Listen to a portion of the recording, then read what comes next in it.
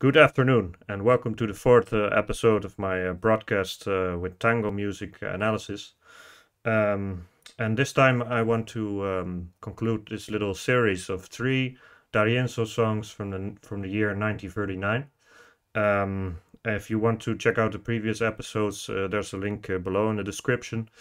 Um, but I'll try to uh, make this, um, you know, I generally also try to make it as accessible as possible um, for people who are not uh, who don't know a lot about tango music, of course. Um, but I also try to um, make it unnecessary to watch every episode uh, before you you watch the next one. So um, any information that is important for today's analysis uh, will be repeated today. Um, but I definitely recommend you uh, checking um, the last uh, part out or the other ones. Uh, the last part was uh, mostly about like uh, feeling in, in, in an instrumental. So that the second song, also from D'Arienzo, was with a, with a singer, and the, the last one was with um, with a with a, it's just an instrumental. And uh, I, I, was mo mostly talking about how uh, feeling like melancholy, for example, um, our emotion is expressed in in, in, in, in an instrumental, and, and of course a bit about the D'Arienzo style as well, but um, mostly about feeling.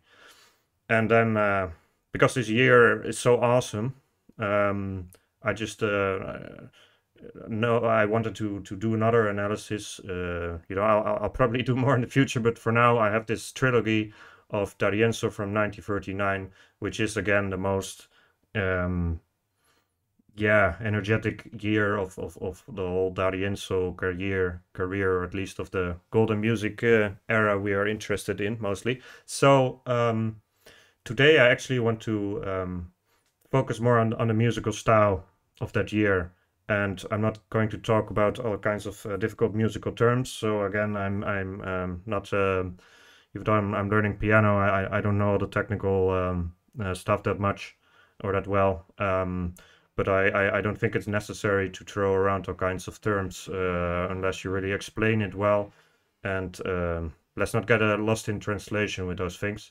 Of course, I, I always wished uh, I always wish I, I knew more about certain aspects of music, but I'm trying to improve that. Um, so I chose this specific D'Arienzo instrumental, Derecho Viejo, from this year 1939, because it's so explosive and high energy. It's for me, it's it's the most um, spectacular song of the whole year, um, and we'll see uh, why that is. Um, but um, here is D'Arienzo um, from another year than 39. I think it's from 38. Uh, but um, this was uh, D'Arienzo's orchestra. And um, to recap from last time, in 1939, um, or actually 1938 already, in late 1938, um, uh, D'Arienzo um, laid off uh, Biagi, and um, his replacement was a was a um, yeah a, a very um, yeah uh, established uh, tango pianist called Juan Polito, and Juan Polito had to replace Biagi's amazing piano playing and, and the style of the orchestra, um, which of course did not only depend on Biagi, but it, it was mostly D'Arienzo's ideas, but they, they did that together, uh, and now he had to be replaced. So what you saw what you saw in this in this year is that for some reason the the um, compared to the previous years the, the music was even faster and was even more rhythmical. It was was yeah, it's it's it's really explosive. And in today's song, we'll we'll see um, we'll hear uh, what I mean with that. Um, so let's go. Um, first, I want to talk a bit about um, both um, um, uh, the composer of, of, of, this instrumental, Derecho Viejo, as well as the meaning of the song itself a bit. Um, but it uh, has to do with each other, of course, because he's the author of the music. Um, and then after that, we're going to uh, listen to the D'Arienzo style. And actually, after that, we're also going to listen to the Pugliese version of the same song, which is is, is quite different. Um, it's actually also a, a Golden Age uh, instrumental. So for dance-wise, it's very interesting to listen to. Uh, there might be a bit less uh, dance analysis today, but I'll definitely um, uh, hint uh, uh, towards that during this during the discussion. Um, so um, Eduardo Arolas is the man in this picture. Actually, I've been training myself today to say Arolas um, instead of Arolas because uh, I've been learning Japanese for a while and for some reason I just want to say Arolas, but it, it doesn't exist. There's no Eduardo Arolas, there's only Eduardo Arolas. Um, so um, he is actually the author of several very important instrumental tangos in Golden Age music, um, but he wrote them very early in tango history in the 1910s. So he's actually uh, one of the pioneers of tango music, I would say. And uh, yeah, he um, he was also a musician. He was a bandoneonist. He led an orchestra. You can even listen to some of that. It sounds very old-fashioned, but it's interesting for the archaeologist among us. But more importantly, he he so he composed a lot of instrumentals. Um, some of which are are, are very uh, interesting still today and um, um, I don't like learning text by heart, so I'll just have to look at my own hints uh, times. I really don't like. Uh, I just want to talk and uh, and chat and and. Um, but uh, yeah, I need the hints sometimes. Um, yeah, there are actually less instrumentals than I was expected. So I was also expecting other great instrumentals by D'Arienzo and Di Sarli um, to be uh, written by him. But no, that's not the case. But I'll let you hear some uh, of the, um, yeah, just some random selection of, of songs, um, and just just to um, because a lot of people don't know the names. So I could say, yeah, this is that and this is that, but you probably don't know the names. Well, the DJs do, but a lot of people don't. So I'll just let you hear it, and you'll recognize it from the um, from from your experience in the milongas. Um, it's very um, um, interesting that uh, we um, uh, sorry distracted a bit by the time. Um, um, like I, I said last time uh, about instrumentals. So just to recap there are a lot of more there are a lot more tangos in the golden age with um, lyrics and singers than than instrumentals. And uh, a lot of these instrumentals are from older times, like in this case by Arolas.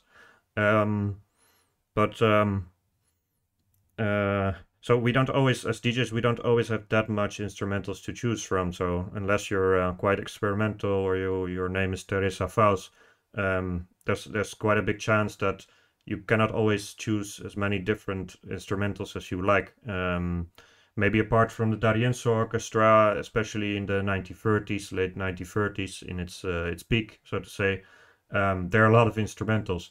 And the fun thing is that a lot of these instrumentals are from Arolas, so also the lesser known ones are from Arolas. I was actually uh, expecting there to be more, like I said, but it's not necessarily the case. Um, and with with uh, D'Arienzo, he, he, like what's called the D'Arienzo revolution is that he essentially came back to some kind of old-fashioned rhythm in tango, but in a modern way. So he he he he was a traditionalist, and I find it very um, striking that that that he chose these Arola songs because I'll explain why Arolas was uh, a bit of a, a, visionary for his time.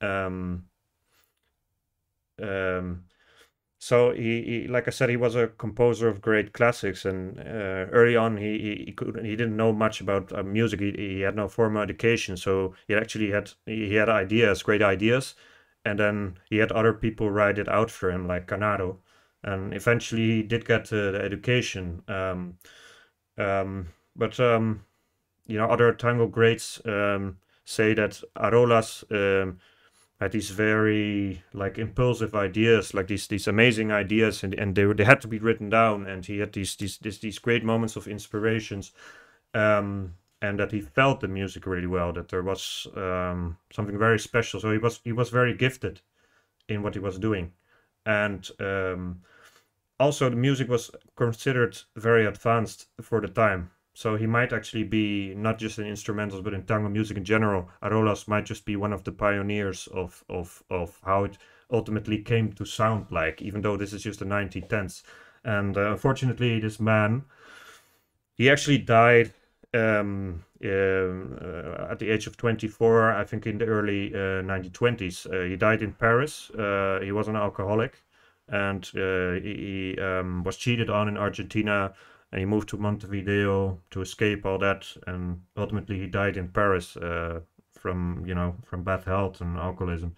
So um, that's very sad. And it's especially sad for us because there may have been way more interesting instrumental songs in the golden age repertoire and, and our recordings that we danced to had, it, had this man actually lived longer because this is just a, a, a very early tango musician um, but what I said about D'Arienzo and going back to the old style, like D'Arienzo took, D'Arienzo was looking for the essence of tango.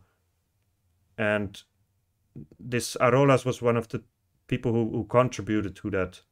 And yeah, I, I just find it very striking that there are so many good, several, even in this year, 1939, there are at least three or four songs, instrumentals uh, written by Arolas. And um, well, let, let's just look uh, at a few examples. Um, yes, uh, what just what I also wanted to say about this is that uh, just a fun fact for you. It's not really that important, but I just like these things a lot. Um, this is the um, the the art, like the the sheet music art for Derecho Viejo. Uh, it's actually, I think it's published in in several um, imprints. So this is just one of the illustrations. But I read that Arolas also learned how to um, how to um, uh, draw and, and decorate, um, and he made uh, these these images for his own music. Um, yes, uh, and even for music of others. So uh, actually, when I was um, looking through um, some of the the the the, um, the, sheet music in the um, in the flea markets of Buenos Aires, um, I found a lot of these these these these types of illustrations that look very much like the 1910s. They look quite old fashioned. This one is actually, well, some are, are way more stylized. They almost look like Art Nouveau architecture um, it's, it's it's it's more like the fin de siècle uh, kind of uh, uh, uh illustrations than the 1930s or the 1940s, and that's right because these I think a lot of these uh, drawings of, and, and and even the songs themselves that were recorded later are quite old, um, and I honestly don't know what this. Um, I'm going to talk about the meaning of this instrumental later, but I don't really know what this uh, what this image tries to tries to express. It has nothing to do with um, the origin of the music, but let's talk about that. Um, well, let's keep this open. Um, okay, this is probably the most famous one. I'm just going to put this a bit lower because it's it starts quite loud. Um, this is quite a famous one.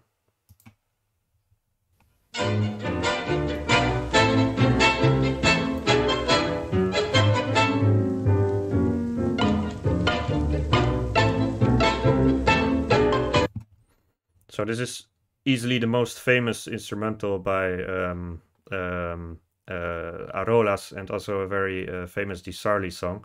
I like this uh, this one a lot because there's there's only two songs from 1938 uh, uh, with Troilo, uh, and he only started recording again much later. But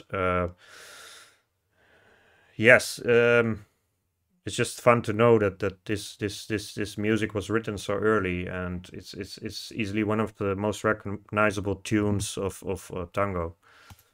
Um, this is actually i'm going to speak about this one uh, the most. Um, this is actually like i said from the same year d'arienzo um, it sounds a bit like the the song from last uh, um, from uh, last time from the second uh, d'arienzo analysis I, I made so I'm not going to dedicate an entire episode to this uh, just yet. Maybe one day. But um, this is called El Marne, and uh, it's it refers to the Battle of the Marne. Uh, I don't speak French that well, sorry. but um, it, it's it's um, yeah, it, it, it it's it's typical in a sense because Arolas was from this 1910s, like this era, and he he wrote there. There's several uh, songs about World War One, um, but this this is um, a typical one, and uh, yeah, uh, I think this is uh, dedicated to the um, well to the tragedy, but probably also to the heroism on the Allied side. Uh, I think um, in Argentina then they were more, um, yeah, a bit more on the on the on the on the Allied side, on the France, Belgium stuff like that. But um, yeah, let's just listen to this for a few seconds. You might recognize it as well. There's several versions of this, but it's much less known than uh, Comme il faut. I don't even know how Argentines say that, like uh, Comme il faut or something. I don't know.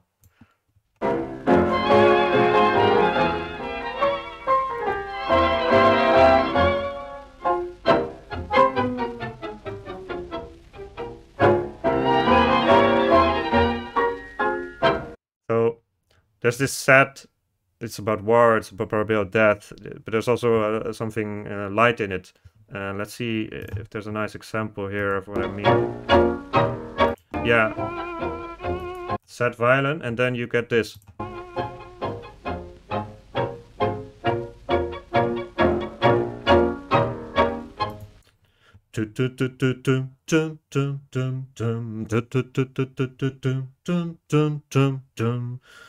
It's very expressive and yeah, it's it's really a song about about um, about the trenches, about the, the, that futile war. Like war is always uh, pointless, but especially the world, uh, the First World War has this reputation of just being without any movement.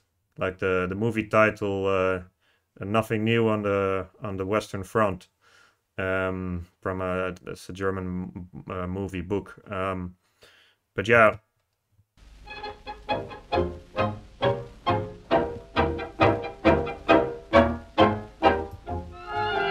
and then this violin is somewhat more light. It's yeah, it's very interesting, but we're not going to talk about this too much today. Uh, this is another um, instrumental by Arolas uh, that is very famous uh, from um, for for DJs from the you know the early 1940s. Uh, Di Sarli music, which is quite rhythmical and can be used very well uh, for DJing.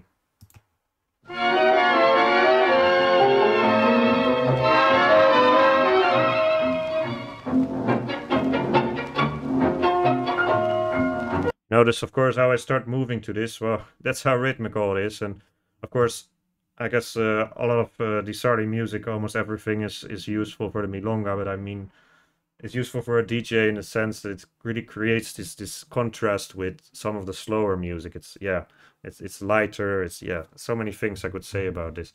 And here's a very famous Milonga.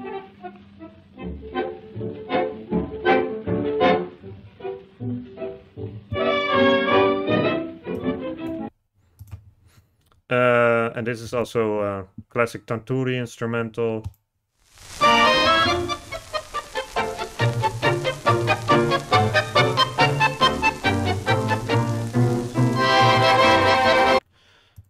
Okay. Derecho Viejo, this is the song. Let's return here. Let's return to our image. Okay. Let's just take a look at this. I think I already showed Arolas in his portrait. But here's another very nice, a real gentleman, almost a dandy. 1917. This is real history, people, but it's not the history we're used to. It's very early tango history. Um, let's not forget this guy. Hello, D'Arienzo the dancer. I, I, I, this is one image I found myself, and I, I just keep loving it. Um, but um, more seriously, okay, maybe I should have uh, show this as well. This is the pianist we were talking about earlier, uh, Polito. Um, and uh, I told a bit more about him the last time, so if you're interested, go check out that episode. Um, but for now, I want to say something about so the, the, about the song. So it's, it, like I said, it's very re- recognizable uh, classic, and um, it's also very interesting for comparison because there are a lot of different versions and listening to all these different versions of instrumentals uh, really enables you to notice all the differences be- between orchestras uh, like we'll do a bit today but um, let's let's talk about the meaning of, of, of this title of the song. So derecho viejo in Spanish, derecho means uh, something like straight, straight ahead, but it also means law. Um, so apparently this um, was uh, a friendly reference to uh, to the the students of the of the law uh, department uh, that Arolas knew at the time, um, and that's pretty much all we we know um, we actually have this poster, but I have absolutely no idea what this is supposed to be. I mean, it, it's, it seems like this fairy tale with, with uh, how she's called in English, like the red uh, hat or something. Um, even though it's a bit of a weird version, it's more like a tango version of that. But um, I have really no idea what this means. But um,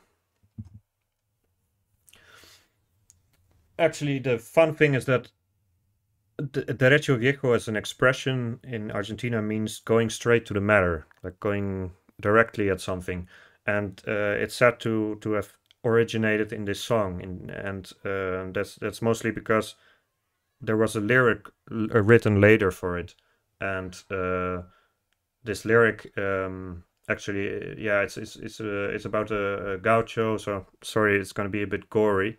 Um, it's a bit it's about a gaucho who um, like this very tough man who kills his former lover because um, she um, she left him for another man, but not just him. She also left uh, their daughter, their little daughter, and uh, he's essentially saying that um, his little daughter died because uh, because she left him. And of course, this is macho Argentina, old-fashioned time, so there's not going to be any, any self-reflection. So it's not his fault that, that that, that apparently his daughter died. Like no, I no no problem.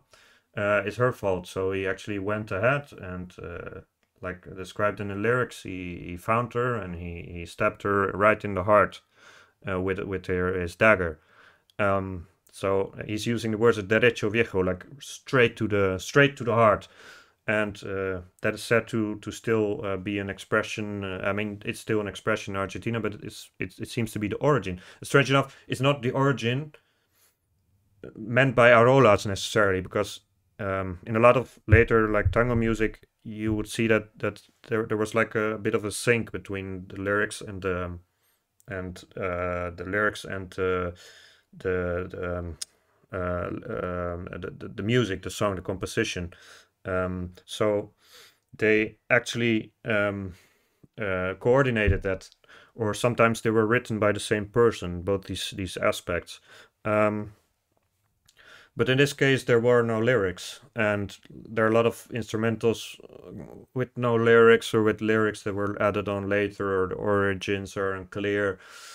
But in this case, yeah, it was added later or even much later. And um, this whole thing, derecho viejo, like, I, I, like you cannot really. S- this is a very mysterious thing about these instrumentals that you can kind of tell from the title what it's about. And sometimes there's this sheet music, this poster, sometimes there are lyrics, but often it's not very clear. So it remains a mystery what Derecho Viejo actually wants to express musically. And uh, I don't think ever everyone anyone ever really writes about this, but it's it's something I like to think about. It's something I like to philosophize about. That um, what are we going to hear in the in the music after this? Um, that's mostly up to your interpretation because there's less uh, direction than in a song with clear lyrics. So I would say that um, the the lyric that I uh, discussed with uh, the the murder, it it, it kind of fits the the instrumental, but that's also because he does he did like this lyricist he listened to this music probably or and and, and he, he made this up and but but let's just remind ourselves that this is not necessarily what the uh, composer meant. Um, so let's go to the music actually now. Um, I'm getting thirsty here. Uh, let's look at this. Let's just start listening.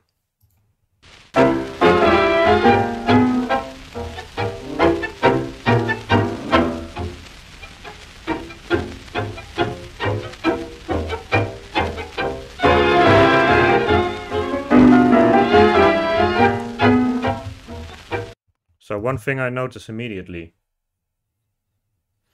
something that I also um, uh, emphasized last week is, is rock and roll. Like you, you can just dance away. Just listen. It's dum.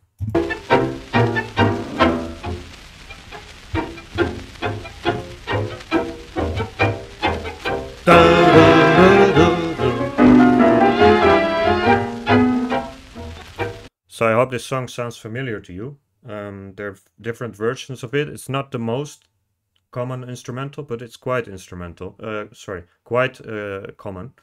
Um, and uh, also the Pugliese version we will listen to later. Um, but just think of the style here. Of course, it's all my interpretation, but um, the style is extremely danceable. And as a DJ, this is just magic. Just, just, just it turns up the energy level. The dancers love D'Arienzo all, almost always, and the combination is just so amazing. The high energy, the danceability.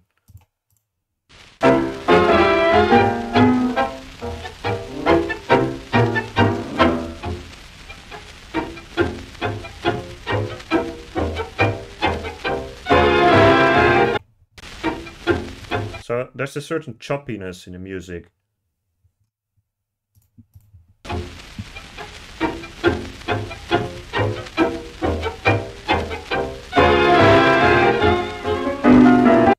So of course, when you learn tango, they, they always say like there's this there's this one beat that's um that you that you like have to dance to like like you have to you have, you have like this.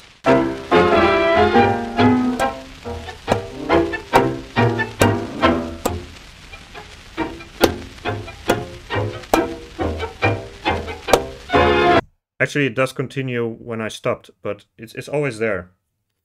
But this type of music just teaches you that there's so many ways to, to, to dance to a song like this and you can choose all these different elements that's what i always try to emphasize in these analysis is that there's so many ways you can dance to this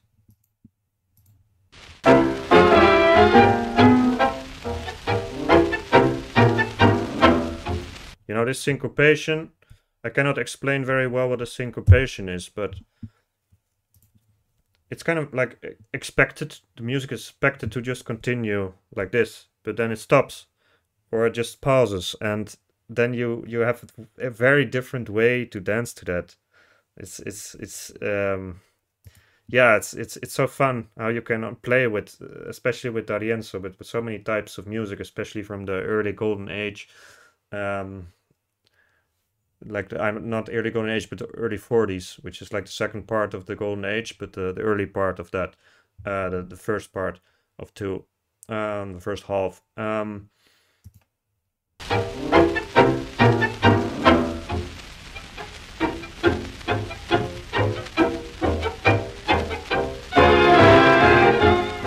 I love how the, of course, at some point you're gonna get solos in this music, but it's it's like an ensemble. It's together. Um, the way it sounds here is just everyone is is like busy um, making this choppy sound. That's that's so that the suspense of it, like it's.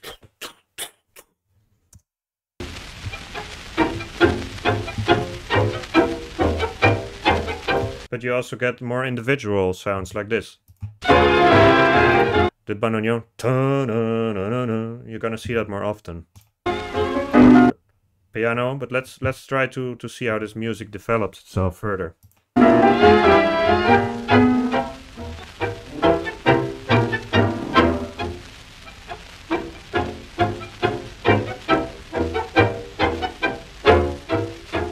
Okay, this is where the story really begins. That's what what I feel like. It's or at least it's going to be telling uh, uh, uh, like it's a chapter. If, if this song is a book this is going to be a new chapter. Violin and piano. And there's so many things going on in this music at the same time. There's like three different stories you could dance to. So this is still quite monotonous in a way but now you can you have a bit of a wailing, crying violin, and you have a very fast piano, and you can you can simply if you're if you're here with your dancer uh, with your partner, if you're dancing like this as a leader, for example, you can even do certain things as a follower. But let's focus on the leading part, uh, which is the most obvious. Um, you you hold this you hold you hold your partner here and and you're like okay what am i going to do next and if you if you listen to the music well you can choose different things so what am i going to choose violin but it's it's directly uh, supplement with something else I'm actually I'm actually kind of singing on the violin, but you hear this this very fast piano in the background, and that's very typical of the style of the rest of the song. You're gonna see that all the time. It's very very energetic. And here here you hear it even more obviously piano. So, and at the same time, maybe the third part I was referring to is that also there's still the orchestra being more of this ensemble and doing things together. And you can also ignore the violin, ignore the piano, and just stay in this. It's yeah. Sorry, I'm so like. I just got really happy when I when I can either discuss this or play this as a DJ or dance this, and I have that with a lot of tango music. But this is quite. Uh, I I love um, D'Arienzo, and this is quite uh, explosive.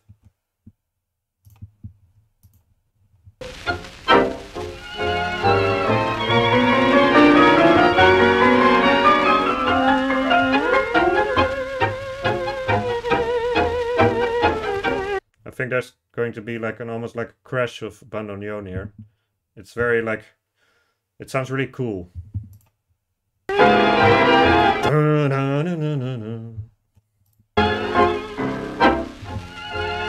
So the sad violin continues the story. I don't know what the story is about. We were talking about uh, law students or something, but it doesn't matter.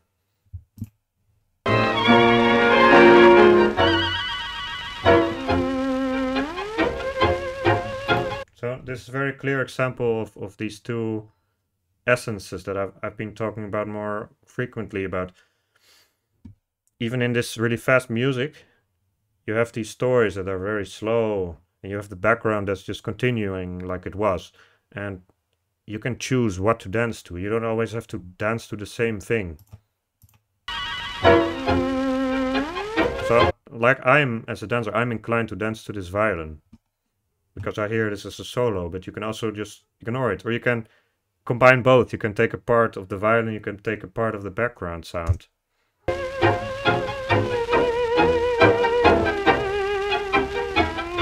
Piano again.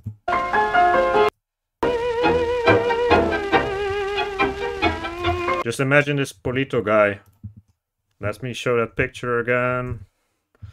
Mr. Polito. Like he's sitting here at this piano in the studio, and these guys, the violin as well. These guys are just recording together. Um, this is actually a picture from 1940 when Polito had his own orchestra. And I recognized this musician as one of the, well, actually everyone left uh, D'Arienzo, even the singer Echagüe, uh, apart from D'Arienzo himself. Um, so they all went with Polito. This, so this might be actually the violinist might be the first violinist that you hear in the solos. Um, okay, here, yes. So, but he's just casually like dropping some piano notes. Like, of course, it's in the they've practiced practiced it, but it's often said that some of these pianists just just improvised, and you know, so many things about tango music that are really, um, yeah, a lot of interesting characters, just like this Arolas today. Like, it's just a prodigy. It's a music prodigy, but yeah. So sorry. Let, us just. Uh, I'm getting off topic here. You're just casually dropping some notes. More violin.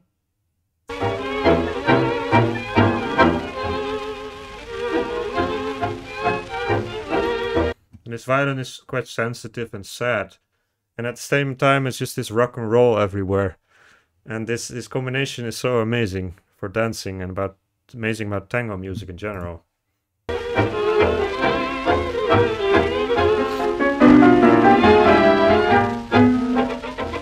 Yeah, this is quite a, this is quite uh, spectacular because you get this weird violin effect now, but it's totally opposed to this slow. Like listen to this slow.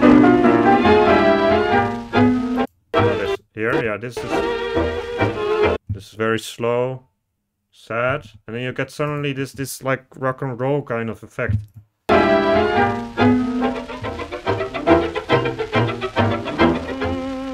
Now that normal violin is back, it continues the story like nothing happened. Dun, dun, I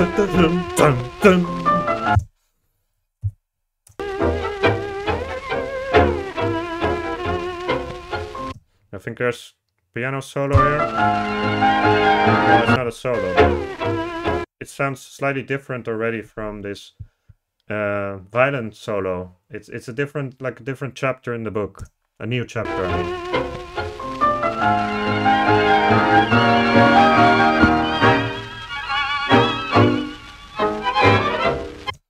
That's amazing, but let's listen to this again. Yeah, it's it's still violin, but it it seems like the um, the sad little violin is is solo, and I think the here you just hear all of them, all of the violins, and you also hear the piano. And then you have to wonder, like, what's the rest of the orchestra doing? What, for example, the bandoneons, what are they doing? Well, they're still making the background beat because the background beat is super important in in tango music, and it's still a whole.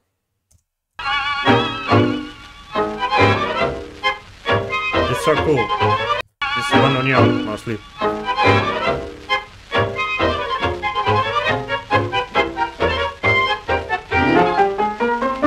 That's another, you know, just another game with the piano, just out of nowhere. Just, just, yeah. I'm, I am, I'm, Polito. I have this piano here, and I'm just doing a trick. Look at me. Sad violins are back. And I just feel that there's going to be another rhythmical game, another instrument being showcased here. Let's listen if I'm right. Yeah, the bandoneon again.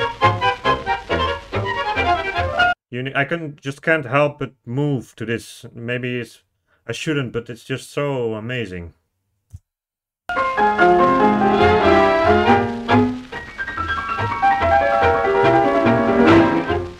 Look at this piano, the, the suspense of this piano solo. Like everything just comes to a pause. Like you hear the background going on, it's always there, but now the spotlights are on the piano. And this piano sounds like something is coming.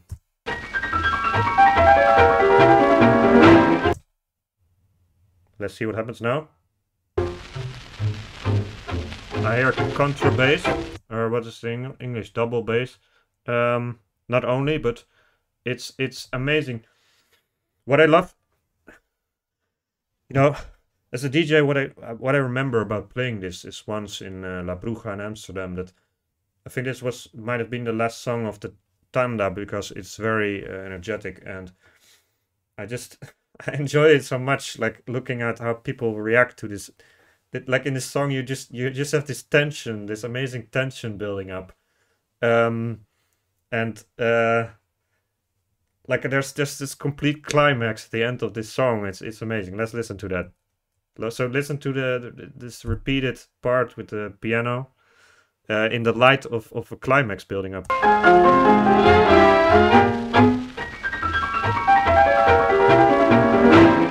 Silence and then it's it's like uh, subdued.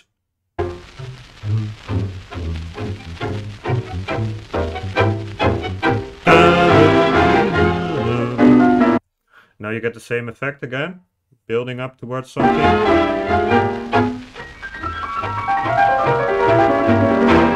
and now there's absolute rock and roll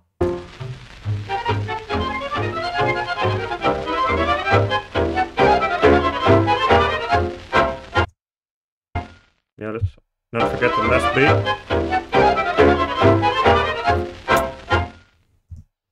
So Of course, this is all my opinion, but D'Arienzo is very popular. I don't think it's just my opinion. I think it's just a general analysis that this is golden age music from the heart of the golden age, and it's it's it's really fucking amazing. I cannot say it in any more um, professional way. It's it's it's it's just I just can't get enough of listening or dancing to this type of music. Um, but now let's let's switch to Pugliese and let's hear a completely different uh, style. Uh, so this is from um, the 1940s, I think from 1945 or something, maybe earlier, 1944, but it's uh, around 1945 more or less, and it's um, the best uh, Pugliese era for me because it's still uh, kind of in the golden age. And uh, for Pugliese himself, this is definitely uh, the golden age, I think, um, this early period. But um, uh, this is very elegant music, and that's that's the essence of the Pugliese style in the 40s. It's very elegant. It's um, much less uh, aggressive, like you could say, than his later music, which is also great. But uh, I prefer this, especially for dancing. And uh, let, us listen to what, what Pugliese makes of this same material. It's an instrumental written by Arolas. And then as with your orchestra, you just pick a song and you make you give your own signature to it.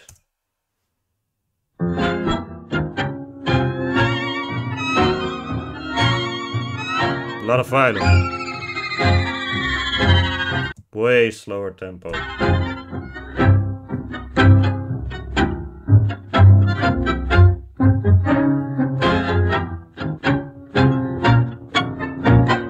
But like typical of the Pugliese orchestra, there's this very strong emphasis on rhythmicality. So it's actually rhythmical and energetic in a different way. It's not just slower, but it's also different. Um, still very strong, very powerful, very macho almost. Um, compared to some of the more lyrical, which uh, music of other orchestras like Caló, which is uh, yeah,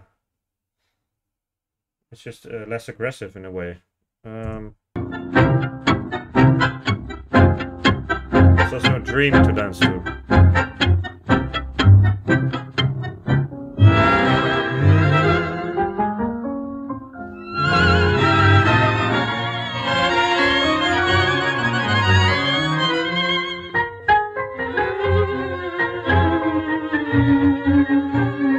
But you hear actually hear how the, how the same effect is being used. That you have these violins; they're more present here, much more present, but um, much more central. But you still have this piano telling a different type of phrase than than these violins. It's just. Uh...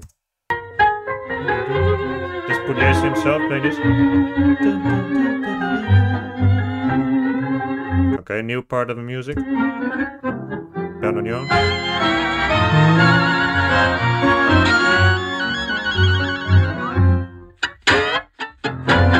This is what I meant with the, the, the, the aggressive Pugliese beat. It's almost like uh, screeching in a way. It's, it's, it's very raw. I didn't mean this, but this.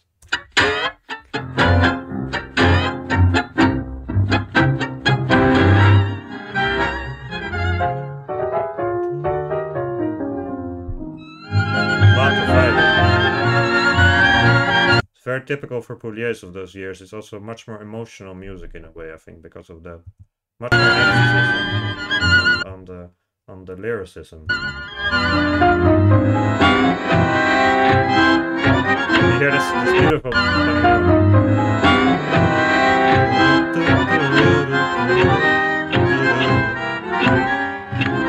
Now change of tone.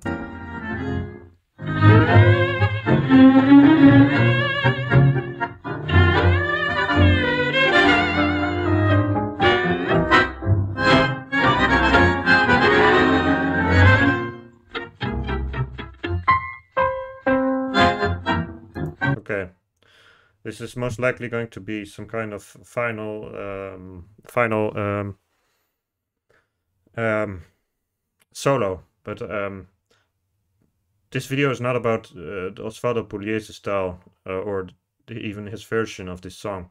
So let's keep this a bit short. I I would like you to practice something yourself. Like, just try to, to like like forget what what I said. Just just try to um, compare these songs your own way, and they're they're quite radically different. Still the same song, but there are also certain similarities. So let's listen to the final. Uh, there's also a bit of a climax in this one, but it's just not so explosive as in D'Arienzo.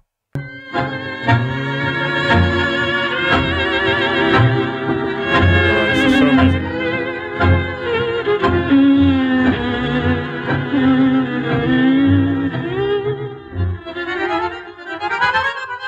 building up.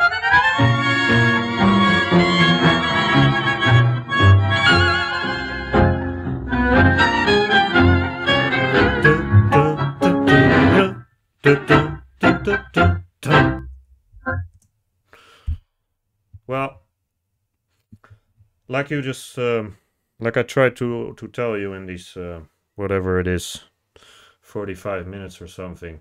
Um,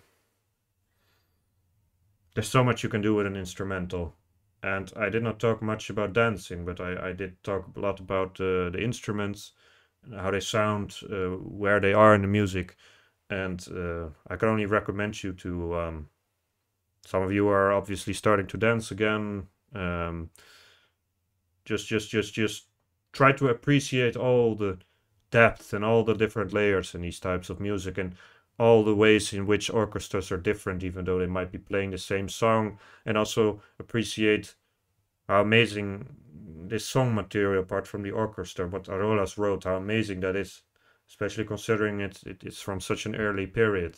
And yes, I, I could be talking all the rest of the day about this, but um, I think this is enough. Um, we'll see you. Um, I'll see you next time uh, for another orchestra. Um, bye for now.